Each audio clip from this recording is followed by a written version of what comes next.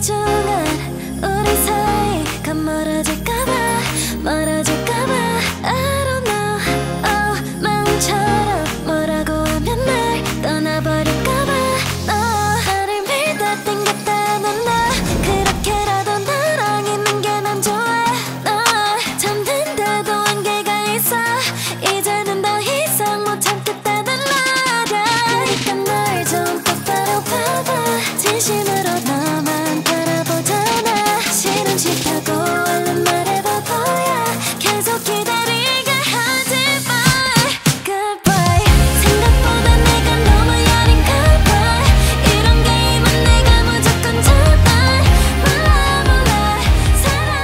大家好，我是小浩。今天跟着我们继续为大家看上次 Encino 上半集的下半部分，也就是上一次嘛为大家展示了这个小区最里面的一栋房屋偏现代化的风格。那今天呢，就为大家开箱小区一进来门口的第一栋，也是我们个人来讲更喜欢的一套风格。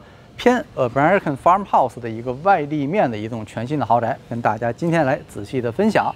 从路口这边过来可以看到，实际上它路口两边这两套房子，它这套的占地是比较大的，后院的纵深更长。一会儿进去我们可以看得到，前院呢比较简单，因为它是一个长方形的形状，前院整体整整齐的铺开，车库呢也是直接面对的路边，所以比较好停车上车，比较传统的方式。可以看到前面呢，简单就是用水泥地和人工假草做了一些过渡，哎，简单的拼接做的这个前院的步道以及车道的部分，旁边用一些针草啊、花坛的花卉啊做一些过渡，哎，非常的普通，就非常有代表性，就是美国九十年代啊。两千年初啊，很多新房大家盖的都是这个样子。洛杉矶这种外立面的房子还是挺多的，也能代表当地的一种建筑设计外观。那可以看到房屋的正面呢，可以看到有包括上面的阳台呀、以及前面车库上面的小的挡棚的设计，哎，都是比较温馨。这栋房子呢，里面的装修和它的装饰部件和刚才那栋也是完全不一样的。那我们先一起进去为大家看一下它室内。进到房屋的正门，我们就先到了它房屋的 foyer 的地方。这个地方呢有一个两层的挑空的空间，上面一个非常漂亮的圆球形状的 chandelier 直接从二楼挂下来，进来一个镂空的区域，还是给人一进来就很宽阔的感觉。而且一进来以后呢，左右两边各有两个区域，右边是一个简单的居坐区域，招待客人啊。有一些简单的谈话在这边可以完成。左边呢是它的正餐区，一会儿为大家详细介绍。我们先跟着镜头顺着它的主走道往前走，右手边有一个过道的地方是冲向车库和电影院，一会儿过去为大家介绍。紧接着过来，我的旁边这边就是上二楼的楼梯，一个半旋转的方式直接上二楼。再往前走，这边是一些简单陈设的柜子、木质的台面以及白色的石啊木呃柜子的面。整的面板也是非常的简洁干净。那这边呢也有一个储物间，是它楼梯间下面的位置。它很多什么电脑的设备啊、音响啊、保安系统，反正都放在这里面了。房屋也全部都是数字化控制，iPad，包括一些 smart device，全部都放在了墙上，可以直接控制它一键开灯啊、音乐都是可以的，包括一些警报的系统。那我们紧接着过来就到它房屋最大的一个空间，共享的是和餐厅。和这个 family 这种共享的一个连体的区域。那过来以后可以看到，这边是它几组沙发放在这边，周围的墙面用石用白色的 moding 做了一个半墙裙的包裹，上面呢可以做了一些简单的 chrome molding 的设计，做了一些简单的吊顶，显得这个层次感更加的丰富。那身后这边呢，它是它的壁炉 fire pit 的地方，也是用最简单的马赛克的石块做了一些铺设。稍微的点缀了一下，两侧的柜子呢，可以看到也是用原木的颜色，下面都是用 LED 的灯带，有做了额外的装饰。那下面呢，也是用白色的橱柜配银色的小的五金件把手，也是蛮搭的这个颜色。那这边呢是一个拉门，双拉门打开了以后可以直接出去到后院，一会儿为大家介绍它后院的位置。我们再往前走一点，这个区域实际上。那天 Licky 没来，我也没有想明白。你也帮我想一想，这个区域为什么它早餐厅放在这儿？看着后院，但是你不觉得太近了吗？就这个是当时我来以后，我们就一直没有想明白，它为什么会在这？因为你看啊，它的上面的挂灯正好也是在门口的位置，所以它早餐桌按道理就应该放在这儿吧？或者它应该稍微往中间移一点，是不是更加的完美？那当然，具体怎么考量？大家观众朋友喜欢不喜欢？呃我认为在造的时候，其实它可以应该把这个部位推出去一点，就说就合理了，是不是？当时我也是和聪聪商量的时候，我觉得唯一可行的方式就是这个地方大概再推出去个一米，它再进来的话就会影响这里的。哎，影响这边的动线了，所以它出来是没问题的，但应该再多出去一点，稍微有一点点美中不足，但自己家用嘛，我觉得没影响，在这边更临近后院反而。那么直接过来，过来以后呢，所有的地面呢都是白橡木的地板。那不知道大家喜不喜欢这种带黑色的木纹的地板？因为现在很多人喜欢那种干干净净的，全是木色。这就属于一个 farmhouse 的 rustic 的一个搭配。哎，稍微有一些粗糙的这种感觉在里面。那到这边厨房可以看到啊，我们现在已经很少见这种纯白色系的厨房了，不太多了。而且相对来讲，岛台和我们之前看过，包括上一期房子，这算比较小的了。所谓相对的小，但是其实按道理房屋来使用其实是足够了。非常漂亮的白色加灰色花纹的 marble 石料做的台面，以及侧面全部都是同样的方式包裹。我补一句，这个岛台感觉在这个尺寸里面是正好的。在这个尺寸里，因为当时我们来时，其实我也想，它会不会多出来一点点到这儿会更好，啊，就不需要这么多啊，稍微多一点会不会更好？我也有考虑，当然这两点都留给观众朋友们，你们觉得多一点好，还是这样刚刚好？但我觉得这个尺寸来讲，使用是肯定够了，也有两个 sink 嘛。那么继续回到这边，洗碗机，当然了，全部都有，以及这个不锈钢的洗碗槽，这个 Vicky 还知道，这是我们中国的品牌。嗯，出口在这边做的，然后全部都是这种 polish 亮光反光彩面的这些五金件，还是挺少见的。就这些元素在很多现代风格风格的房子不多了。法式的开窗在这边保证一定的采光，洗手池对一个这个还是蛮关键的。那么过来到它主导台，主导台不大，但其实蛮丰富的，包括一个第二的这个洗手槽、洗碗槽这儿也有，以及下面它的 microwave，还有很多收纳柜子的空间。全部都做在这里面了。实际上它的功能还是依然给到了。你可以看到身后这边呢，那不用说了，跟刚才那个之前房子一样嘛，Thermador 的一个四十八英寸的 cooktop，以及上面同样的一个 built-in 的一个大的吸风抽风。那它缺呃不太一样的就是它这边呢是做了一个跟它岛台下面的橱柜颜色偏灰色的。橱柜的同样的这个 molding 给它包裹了起来，所以它厨房实际上是两个颜色，就岛台是一个颜色的橱柜，其他地方是白色，有一个对比。现在还蛮流行这种做法的，我也见过用白色和深蓝色出来效果也很好。那么再过来看它这边所有的柜子呢，展示的部分呢也都是用的这种玻璃的表面，玻璃的面板，这样可以一目了然知道里面的东西，也方便主人摆放一些更好看的碗筷。下面呢，同样都是做了 LED 的灯带，以及后面都是铺了小白的砖，带一定的花纹，做了一些铺衬，还是蛮好看的。那往这边走，橱柜的这个系统，我觉得它这个还是挺好用的，可以给大家看一下啊。稍微我们里面放了一些我们的杂物，它呢是这种抽屉形式的，那中间的一二三四层全部都是能完全抽出来的，这样在大家在取物取物放物的时候是蛮方便的。那最上面这个是抽不出来了。那我们放起来以后呢，左边这个也是一模一样，跟它的设计原理一样。然后这边再配一个，哎，built-in 的冰箱，冻箱在这边，冰箱在这边。这个是 Thermador 的，只不过还没有通电，也是可以摁一下自己打开的。我们跟着镜头往这边走，这边呢就是到了它厨房和正餐厅之间的准备区域。首先我右手边有一个 pantry，正经的 pantry 啊，蛮深的，里面的隔断都已经做好了，可以储大量的。就是柴米油盐酱醋茶。那左手边这边呢，它的 lower counter 低台这边有一个小的红酒的一个恒温的小小酒柜，以及抽屉上面的这些高的柜子全部都是用了玻璃的面板，这样你可以直接看透，陈设也更加的好，方便主人进行归纳。那这个走廊的这个区域，其实来讲，在准备区来讲算不小的了。那么从这边过来，就是又回到了它正餐厅的地方。正餐厅身后就是一个滑动门，打开直接去前院。侧面有四扇法式开窗，保证了一定的采光。整体的风格呢，也显得更加的温馨典雅。配合一个原木的材质的长桌，椅子依然选得非常可爱。我觉得这两套房子的室内 staging 其实还是蛮让很多人喜欢的。可以看到它的长度啊，轻轻松松坐十个人没有问题。上面挂了一个蛮有特点的一个吊灯，稍微提一点，就是这个空间的 crown molding，它是啊不是 crown molding，它的 drop ceiling，它是有做四个区域的分隔，中间用一个圆形做搭配，边上全部都是有 LED 的灯带的，这还是额外花了一些心思了，在一个全白的一个顶上，尽量的多做了一些层次感挺。考究的。对，它等于是靠光影来给你一种层次，而不是靠颜色去给你层次。你再说回来，右手边这边呢有一个恒温的酒窖，它里面是有温控系统的。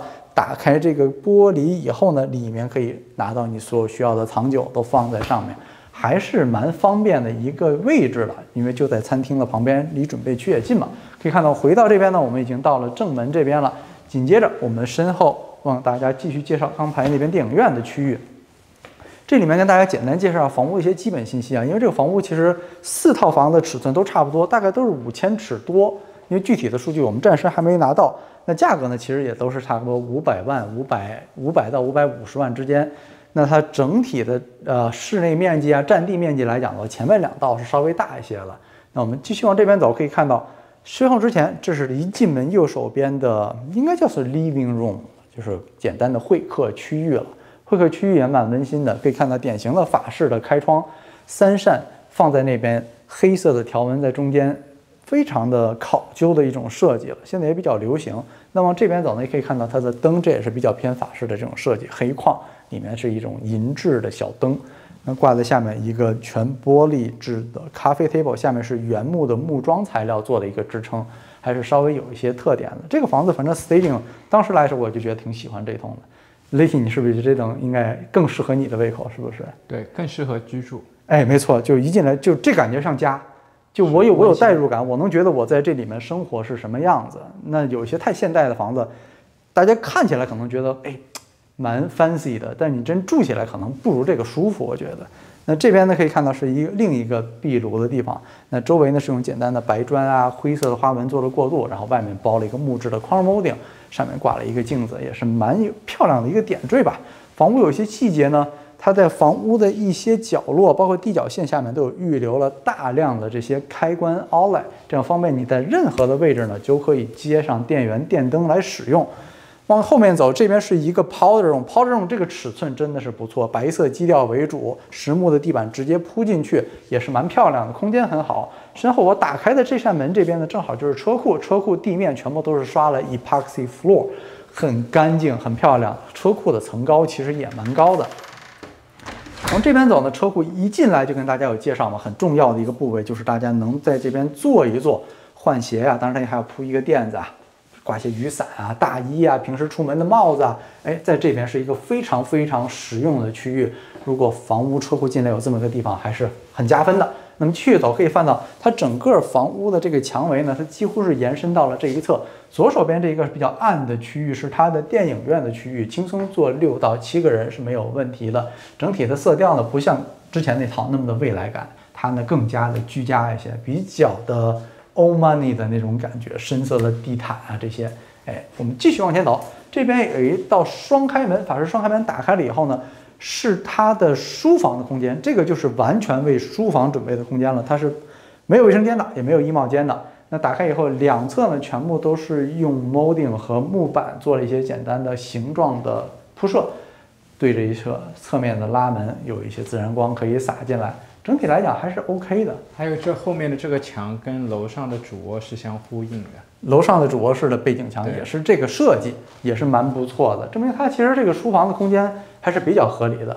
那我们继续往这边走，走到这一侧以后是它楼下的卧室，楼下的卧室可以看到这个尺寸是不错的，它是一个套间。从这边有自己的衣柜，以及后面的卫生间也是白色装修为主，以及一个拉门滑动门，拉开以后可以直接到后院。那么从这边出去，为大家看一下它后院。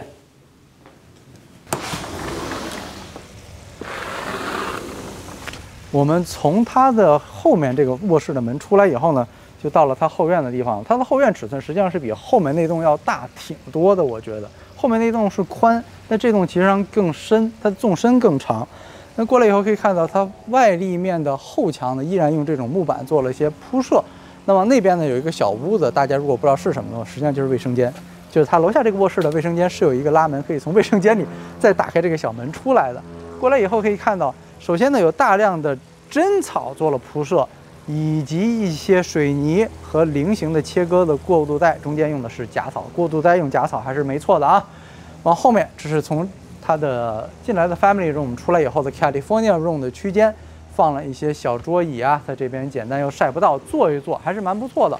往那边的方向可以看到，它有一套非常大的水泥台面砌成的 barbecue 的烤肉炉，上面有全新的烤肉架、小的冰箱，以及它的小的洗手池，都是应有尽有，使用也是没有问题的。那最漂亮的，毫无疑问就是我们镜头转过来以后，从一进门正对的这个游泳池，长方形的游泳池，简简单单，周围用水泥做了简型的切割包围。以及稍微远处的就是它的这个热泡池啊，热泡池它是做高起来，而且它的热泡池呢是正对着泳池，在后方面对着房屋的方向的。那我觉得这个摆放还是比较合理的，因为那边又没有什么景观，那一般泡在这边，我看着你自己的房子点亮的灯火还是比较 OK 的，而且它整体的热泡池尺寸可以看到也是蛮不错的。家里如果有朋友需要招待朋友。哎，来这边是绝对够用的。我身后有大量的绿草地的空间啊，这个房子的院子实际上是不小的。那么继续再往这边走，可以看到有更多的躺椅啊，太阳躺椅的位置。泳池的这一侧呢是它的浅水区，有几节台阶的方式可以下到往那边的深水区，晚上也是可以点亮的。我们镜头再往这边走一点，左手边是它后院的凉亭。这个房屋的后院凉亭呢，跟我们之前看的一样，它并不是买的那种一体式的凉亭，而是单独的去造了一个凉亭。那后面也有一些壁炉啊，上面的射灯啊，包括它的音响也是 built in 的，非常非常的不错。作为一个凉亭来讲，愿意花这么多钱也是挺不错的。要不然 Costco 三千块钱你也买一个了嘛？那么从这边继续往前走一点。这边有绿草地，泳池的设备呢全藏在了凉亭的后面，所以你看不到任何泳池的的设备，蛮干净的。那这边呢有一些花坛的区域，往这边这四套房子，包括后面那个大家伙，都是有篮球场的，尺寸都差不多，都是可以练习投篮、可升降的篮筐的位置。我估计应该建商或者是开发商挺喜欢篮球的，不知道雷 y 没从无人机上看到，四个球场一模一样。哦，还挺有意思。包括后面那个那个后面那一个房子是这四个大，但它球场也是这么大，就非常有意思。而且可以看到这边绿草地空间也是非常大的，那小朋友在这边玩一玩啊，做一些娱乐设施啊，都是没有问题的。那今天这个房子后院呢，为大家介绍完了，跟着我们镜头一起去看一看二楼它休息的空间。我们到房屋的二楼，继续为大家介绍它主要的休息空间。可以看到这个楼梯，大家有没有注意到？好像少点什么。通常这边会挂一个水晶吊灯，是不是？是。但实际上怎么说呢？就是他们这种室内的风格，如果你真在这挂了一个吊灯，容易让它整体的装修风格反而不那么大。所以这个灯的选择很重要。如果你选不好，宁可就干干净净的别挂，对不对？那它这边的楼梯的扶手可以看到啊，原木的颜色，白色的这个围栏，完围栏呢也是做了一些镂空的设计了，这点还是蛮用心的，总比那一根一根的要好看的很多。而且下面整个楼梯围上来，哎，非常的那种奶奶的感觉。那后面是主卧室，最后为大家介绍，我们身后正对的这个方向呢是有一个露上的卫生间，自己的卧室。房屋面这个房屋的卧室是冲前面的，采光其实也挺好。还有一个小的储物间，那再过来呢？这边呢正好就是一进门 f o r 镂空的地方，从这边可以看到楼下和一进门。那从这边主卧啊、卧室出来，知道谁进家里面还是蛮方便的，有一个沟通的地方吧。可以看到这个吊灯从二楼挂下来，上面也是留了一个高窗采光，也是法式的开窗。现在真的是比较流行这种风格。那往这边走呢，就是跟刚才大家介绍的楼房屋正面的这个小的 balcony 小的阳台。在这边坐个三四个人聊聊天，二楼烤个肉也是可以的吧？应该不会有人 干这种事儿。之前看这个老想有人在二楼弄个小的羊肉串炉子在这边烤肉，那可能只有咱们华人能干得出来。哎，我们到这一侧了以后，身后呢，首先有一个卧室，自己的卫生间、衣帽间，也有自己空冲前面的窗户。那我们再继续往这边走，值得多提一嘴呢，是我们一会儿进到最后的卧室为大家详细的讲。它的次卧和卧室都蛮有特点的。那左手边首先这边有一个很长的洗衣间，上次的视频我们有说过，就这个洗衣间是比那个要大的，而且很长，功能性非常的好。我觉得女生观众朋友或者是经常洗衣服的朋友，男性也好，那可能看到了这种尺寸的洗衣洗衣房，还是应该蛮喜欢的，应该觉得是很好用，有自己的 sink。那么再往这边走过来，楼下最靠里面这边还有一个卧室。我们进来可以给大家看一下，首先卧室的每尺寸，它所有的次卧的尺寸其实都差不多，都蛮大的。我左手边这边是个衣帽间，右手边这边我正对的呢是它一个卫生间，装修风格每一个卫生间其实都差不多。那这是朝后院的开窗，那特点呢就是大家如果抬头可以看到，它每一个卧室，包括主卧室，都是这种人字的工字顶，就是人字顶。那它无形中的提高了你整个室内的空间感，让你觉得在每一个卧室里面都是宾至如归，非常的舒服，不会觉得我哪个卧室非常的将就。那么这个空间完了以后，跟着我们一起回到主走廊。还有一个地方，我已经说了几次，就这地房子有一种种莫名的香味。啊，你说一进来的那个香味儿是不是？对，不像新房的装修的油漆，我怀疑他用的漆是特别呢，还是他做了一些除味道？我们上个星期来的时候，你说的香味儿，我们倒没太注意，我们进来就没有觉得有任何刺鼻的味道。因为这种特别新的房子，跟都还没上市，通常来讲都会有一些奇奇怪怪的味道，难免的。是，但这个完全没有，就觉觉得这就是一个现在有人在住的房子，只不过主人现在出去让我们。加上这股香味，不知道是他们 staging 特别弄的，反正让人比较温馨。哎，很舒服，确实很舒服。碰到那种有油漆味道比较难受的，你就感觉没办法。你让我们拍摄，你也知道，我们经常得面对这种办法，有也是没得选择。那正好说实话聊着天，我们到主卧室了。主卧室这边呢，首先可以看到非常好的休息的卧房空间。去那边之前，我们先转一下过来。一进门，左手边转过来以后呢，首先是一个小的区域，这边有一个梳妆台啊，简单的梳妆的地方。右手边就是它的衣帽间，所有的衣柜全部都打好，尺寸也不错，不分男女了，全部都集中在一起。那往这边走呢，是它主卧室的卫生间的区域。主卧室卫生间这边一个双台呃双 sink 的一个台面连在一起，全部这种银质的底座的小吊灯三个挂在这边，非常的古朴典雅。里面的装修还是带一些法式风格的韵味的。那我身后呢，当然不能少一个 freestand 浴缸，对不对？放在这边泡一个澡，隐私其实也是没有问题的，因为后面几个房子离你还是比较远的。马桶在那边，这边是一个非常大的一个淋浴房的空间。淋浴房所有的后面都是用砖块做了铺设，下面全部都是用小的鹅卵石做的地面的铺设，以及上面用白色的砖块，等于几乎就是一个三百六十度的包裹和防水。那空间也是够大了，上面的花洒、墙面的花洒应有尽有，所以我觉得还是挺不错。就一个卫生间来讲，面面俱到，收纳空间实际上也是够的。那么现在镜头跟着一起退出来以后，往后走。到身后这一侧就是它主卧室的休息空间。主卧室这个空间感真的是好，不愧为主卧室。首先一个壁炉，跟楼下的 family room 的那个是几乎是一样的设计，就不多提了。可以看到它主卧室也是一个人字形的顶，从我的右手边一直到墙边，非常的贯通过去，所以显得整个主卧室非常的大。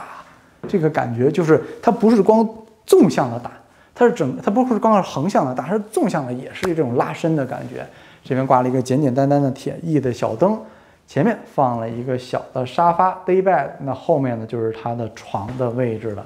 跟刚才 Licky 有提到嘛，它的墙板跟 Office 的那个墙板是用的一样的，呼应的。哎，做了一些简单的过渡啊，特点还是挺不错的。而且特点之一是什么？主卧室有一阳台，这边一个双拉门和一个单拉门，通向的是一个连通的阳台。我们出去给大家最后看一眼它的阳台。